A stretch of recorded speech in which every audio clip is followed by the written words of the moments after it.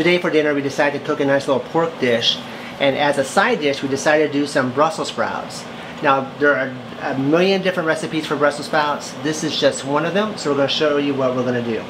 In our pan here we've got three slices of smoked applewood bacon and we're going to brown the bacon and uh, get all the oil out of it. Our bacon is finished cooking. We're going to take this off the side. And to put the bacon into another small pan. We're going to crumble that up and put it back on our Brussels sprouts a little bit later.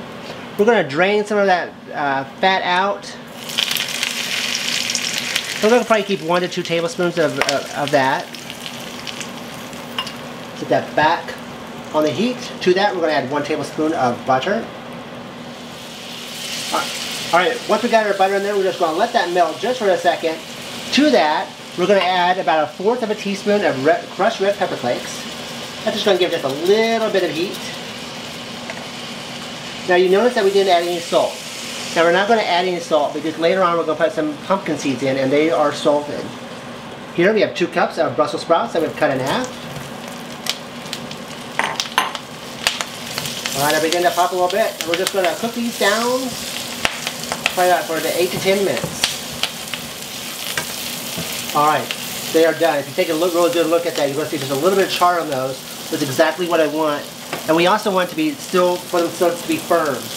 We're also going to add in our bacon that we had before. That nice little coating.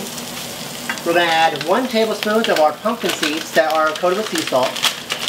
To guess there. That gives, again gives it just a little extra crunch. And then again, for our, just to give it just a little more extra richness, we're going to add a fourth of a cup of Parmesan cheese.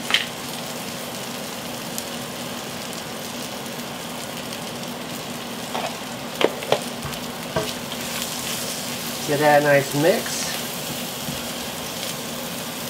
Take down our bowl, and now we have a very flavorful and delicious Brussels sprout recipe. We hope that you enjoy it.